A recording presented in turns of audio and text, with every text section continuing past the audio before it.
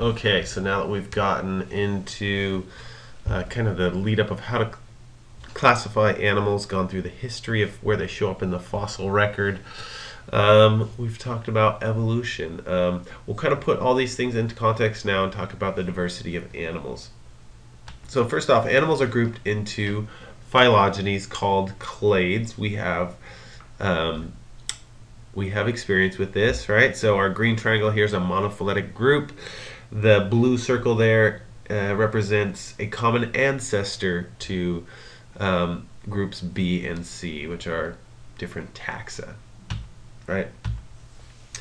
Um, the phylogeny is a hypothesis and it has been changing because we get more information. So some of the information we have been basing our relationships on include morphology, fossils, and then molecular data like DNA, RNA, and proteins.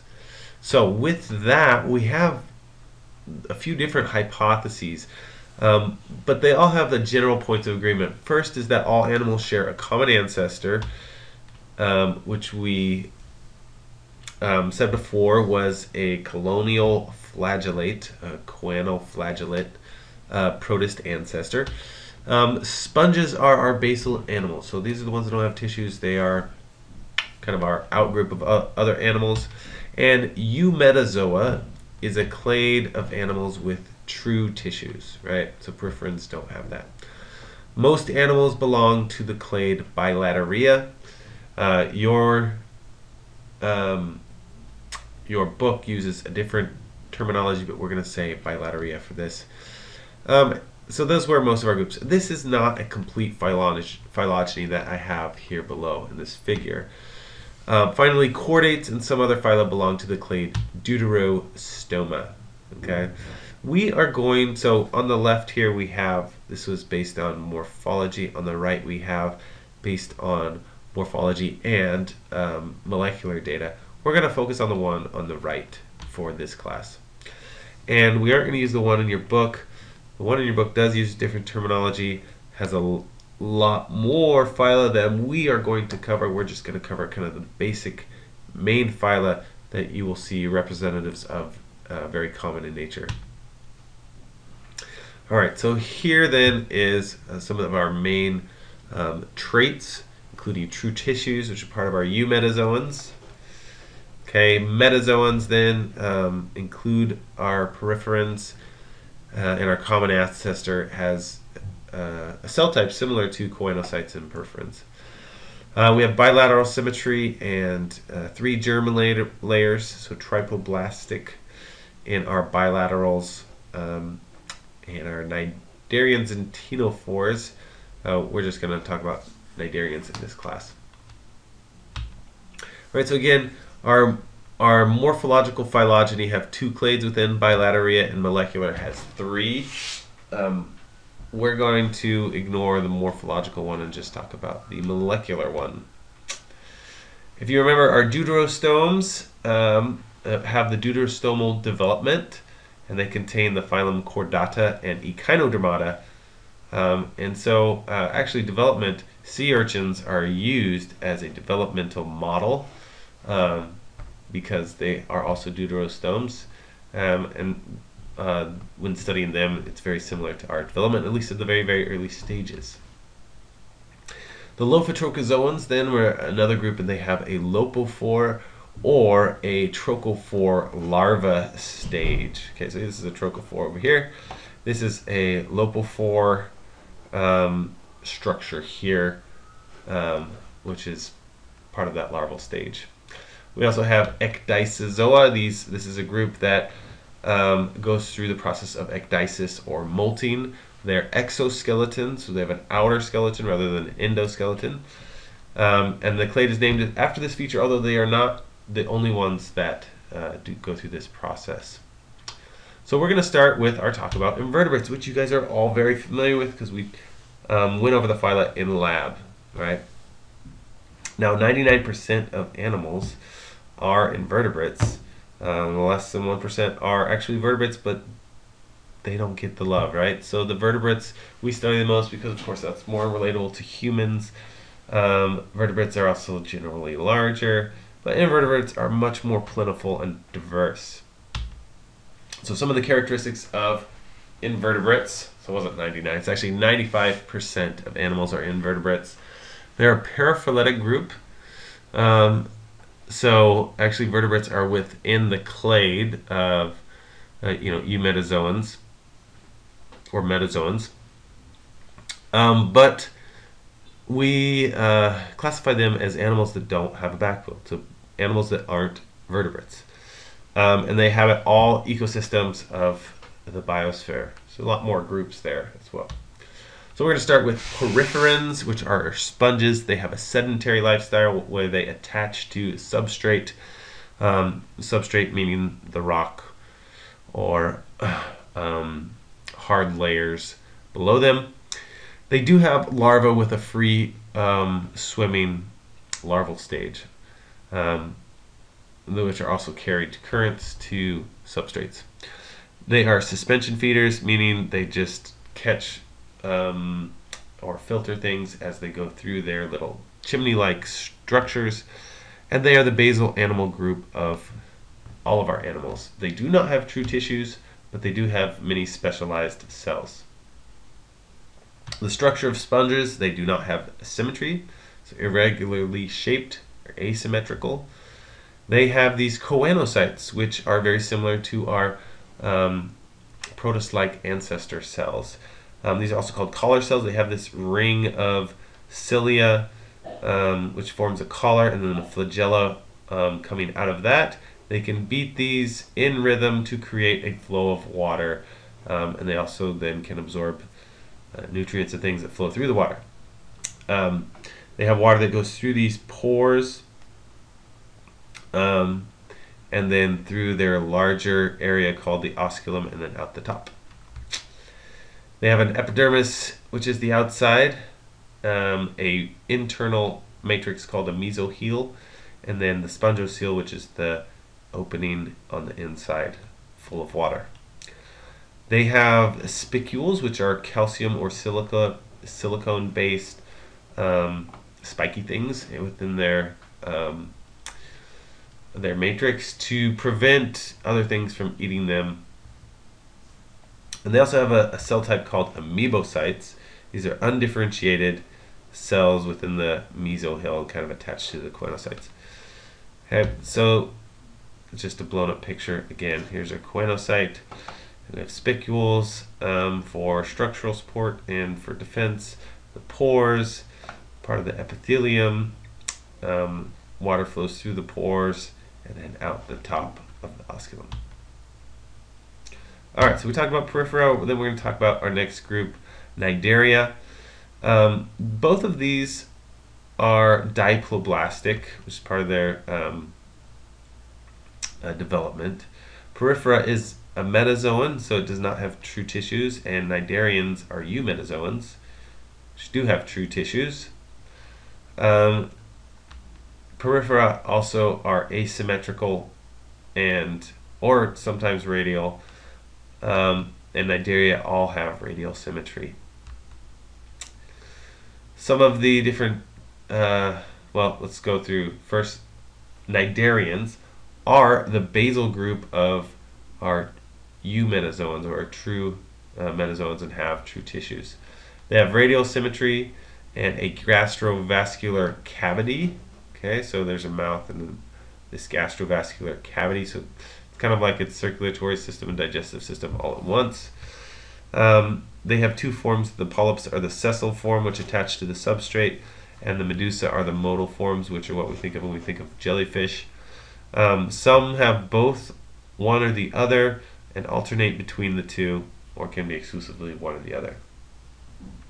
Cnidarians also have tentacles which contain cnidocytes. Cnidocytes um, can be specialized with a barb, which can poke into people or other things or prey items um, to inject poison and capture things and eat them or to defend themselves.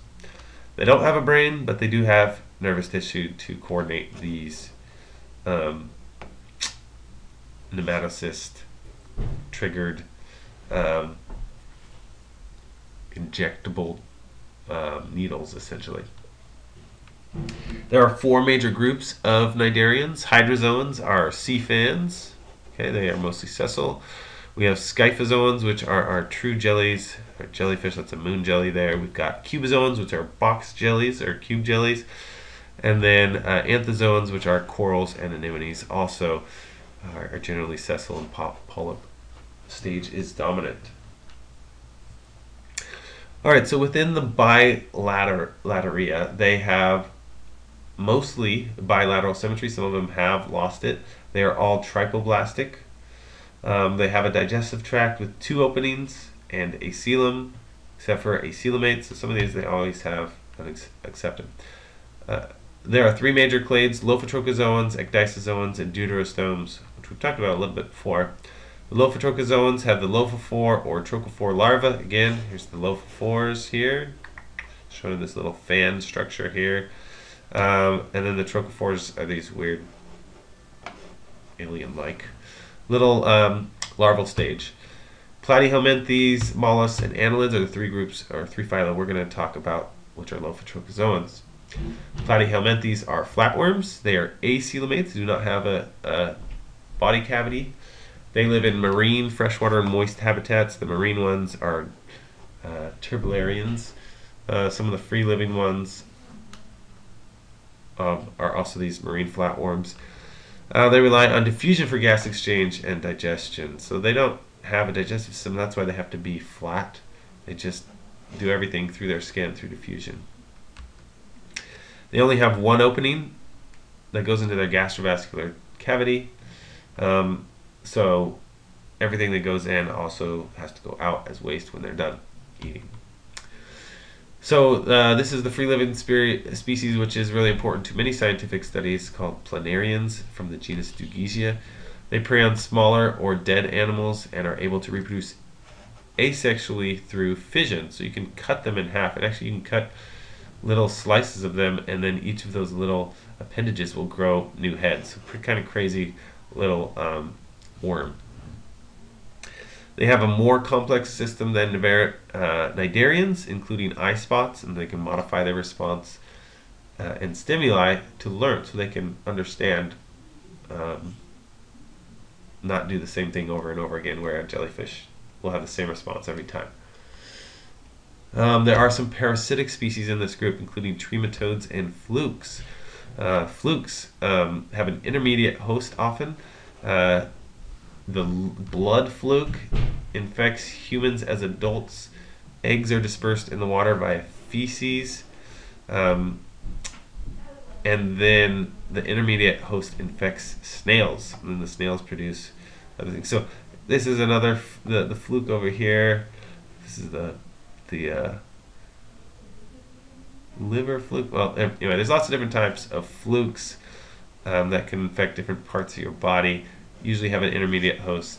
One of the ways to control these is to control the, the intermediate host. So if it's a snail, kill all the snails, and you won't have to worry about uh, the fluke parasite. Another parasitic species are tapeworms. They live within the digestive system of the host, usually a vertebrate. The anterior end has this structure called a scolex with this attaching head part, barbs and suckers. Um, posterior to the scolex, they just have all these repeating segments called proglottids. Um, they don't have a digestive system either. They just absorb nutrients through their skin from the host. Um, mollusks are coelomates. They're mostly marine, but some of them are freshwater and terrestrial species. And there are four major groups, chitons, gastropods, bivalves, and cephalopods. And you guys saw some of these in lab as well.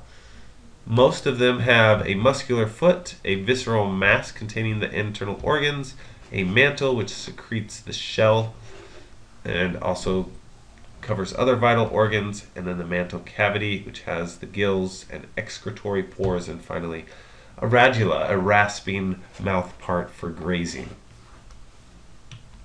Chitons, this was the alien dinosaur, like, um, or a specimen on the quiz.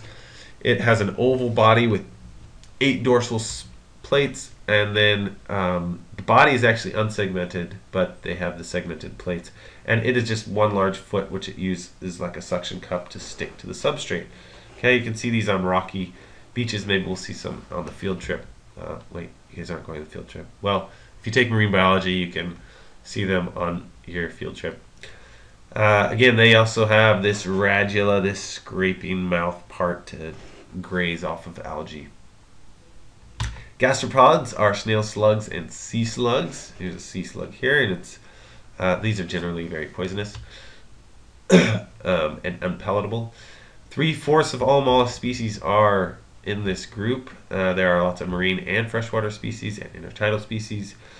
Their body twists during development, so its anus is actually above its head, um, which uh, sounds like it'd be pretty precarious.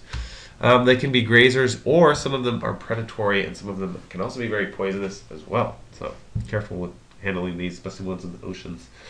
We have bivalves, a very uh, diverse group. They are all aquatic, mussel, clams, oysters, scallops, abalone.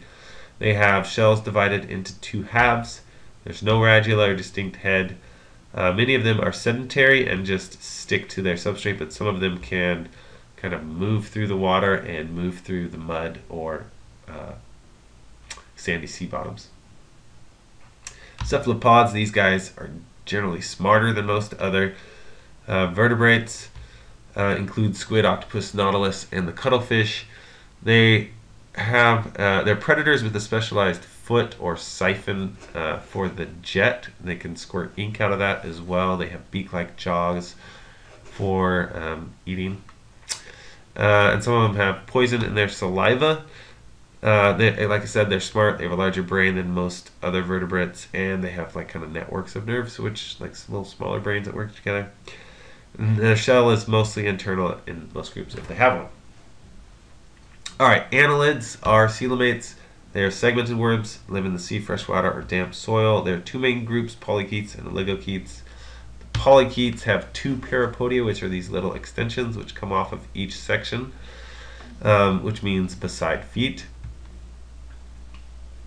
each parapodia has numerous uh, little um, hair-like extensions called um, and those are made of chitin. They're mostly marine, including these marine tube worms, which make these tube-like structures. Um, and these tubes, calcareous tubes that they make, form a reef for other um, organisms. All right, oligochaetes. Oligo means few, so these have much less of the chaetae, little earth um, hair-like extensions coming off of them. Include earthworms and leeches. Earthworms burrow in the soil, and uh, leeches are parasitic and suck blood off of animals, including humans. Leeches are mostly freshwater and suck blood hosts, like I said. They secrete an anesthetic so you can't even feel them sucking on you. And so that the um, blood won't coagulate and they keep bleeding and they just get nice and full and swim away. Okay, let's finish this up. All right, we went through the first five. Now we're going to get through um, the last four. So, ecdysozoans, as you remember, they have this external coat exoskeleton and they can shed it and that's how they grow. There are eight phyla and there are more known species in ecdysozoans than any other animal, um, protist, fungus, and plant groups combined. They include our nematodes and arthropods. Um, we'll start by talking about nematodes. These are pseudocoelomates. Um, they are roundworms without segmented bodies. They are found everywhere. Uh, some of them can be parasitic. These are some which make cysts in muscle tissue, uh, moist tissues of plants, aquatic habitats. So uh, they reproduce sexually, um, and it has been said that you could. Um, the whole earth is covered in them. If you took everything away except for nematodes, they would leave kind of like an outer shell of of the earth and everything there. Um, so some of the parasites, including uh, one that causes trichinosis, Trichinella spiralis. Um, there are some that are very helpful to humans, including C. elegans, which is a model species for biological research. So here's the encysted juveniles within the muscle tissue from trichinosis, which it is thought that Beethoven, I think, died of. So, fun fact. All right, um, arthropods, very diverse. These are coelomates with an open circulatory system, uh, and they have hemolymph instead of blood. There are 1 million described species. They have segmented bodies, jointed appendages, and hard exoskeletons. The earliest fossils are found from the Cambrian explosion, okay, uh, including horseshoe-like crab ancestors. Horseshoe crab-like ancestors. Um, they have diversity of appendages, which has allowed them to radiate um, uh, into a diversity of different organisms with specialized functions. An example of the lobster, I used to have a lobster picture here, but now I just have grasshopper. Um, you can see it has legs, it has wings. Um, it can use these legs for different activities, jumping around, uh, making songs, stuff like that. They also have a diversity of sensory organs, sight, sound, smell, and touch, and these antennae are very sensitive for their sense of touch. Their gas exchange occurs through a variety of different ways. They have gills, lungs, tracheal systems, or sometimes diffusion, so spiracles as well. These are where the air comes in to their body. There are four major groups chelicerates, myriapods, hexapods, crustaceans. Chelicerates are your spiders, your arachnids, um, and they have a cephalothorax. So they have a head and thorax fused, and then they have um, the uh, abdomen. Sorry. Spiders are venomous, have book lungs, and spin silk with organs called spinnerets. So they're pretty cool. Uh, myriapods are terrestrial, segmented arthropods with jaw-like mandibles, some of them bigger than the other. Millipedes have two pairs of legs per section. They eat decaying matter. Centipedes are no joke, and they are venomous um, and carnivorous. Hexapods are insects and relatives. Most of them are terrestrial, some freshwater. They have these wings, which have led to their radiation. They usually sexually reproduce and are beneficial to and detrimental to humans. So that a lot of our pests are insects, um, but they also provide many ecosystem services like pollination for free. Uh, many of them go through metamorphosis. Um, there's two different types: incomplete, where the smaller part, smaller larvae are just really smaller forms of the adults, and complete metamorphosis, where uh, is like a caterpillar which goes into a butterfly. They have completely different life um, or morphological forms Crustaceans are the arthropods of the sea, mostly. There are a few freshwater ones as well. They have two pairs of antennae, lots of specialized appendages. So this one's for, of course, um, defense and prey capture, lots of antenna. Um, and they exchange air through pores on their cuticle or through gills, or they also have a lung-like structure, structure if they're a land animal. They have glands for regulating salt if they're in the sea, and a hard carapace, or outer covering from calcium carbonate. Copepods and krill are some small crustaceans. These are very important because they form the base of marine food webs. Okay, and now we're going on to deuterostomes. We'll just mention them. Uh, the two groups, which are echinoderms and chordates. Uh, we'll start with echinoderms. They are coelomates. They have pentaradial symmetry. They're slow moving animals, but they are uh, many of them are predators as well. Uh, the epidermis has hard plates within them, and they have a water vascular system, which they use for moving and have little tube feet at the end. They have external sexual production, so broadcast spawning, but they also excuse me, can fragment their bodies and regenerate. So each of these legs can kind of break off, and as long as it has a piece of the central disc, can form a new individual. Here are the five classes, then, or five different types. So we got brittle stars, uh, sea stars, uh, sea cucumbers, sea urchins and relatives, um, and this other group, which I'm not sure is. But you don't have to know these. It's just to show the diversity of groups within our echinoderms. All right, finally we have chordates, and we're going to talk about these more when we cover vertebrates. But there are two groups that are invertebrates, and those are lance, lancelets and tunicates. This is a lancelet, looks like a lance. Um, this is a tunicate. It's called the Sea Squirt, so it just has like this siphon mechanism for filtering water in and out. And that's it. Those are the nine invertebrate phyla that we're going to go over. And um, you have a, a figure like this similar in your book, and you've already gone over this because we went over them in lab. All right, that's it for